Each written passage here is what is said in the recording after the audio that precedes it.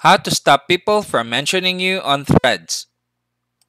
Hi guys, welcome back to my channel. So today I'm going to show you how to stop people from mentioning you on threads. So guys, this is just very quick and easy. Now the first thing we need to do is we need to open up our threads application. So let's tap on that.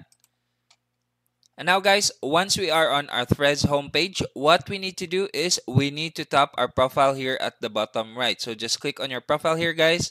And now once you are on your profile, just click on this icon here on the upper left. So it's a globe icon or a circle icon. So just click on that. And now once you are on this option here, just tap on mentions.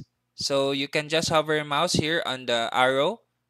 So click on that. And now once you are on this option, you can now choose no one so that no one can mention you on threads so after that once you have choose no one guys you can now go back on your profile.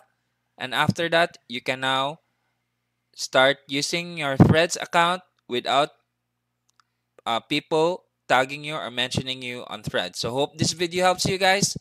Thank you for watching. I hope that i was a big help to you guys. And don't forget to give this video a big thumbs up. Leave a comment below Turn on the notification and subscribe for more tutorial videos.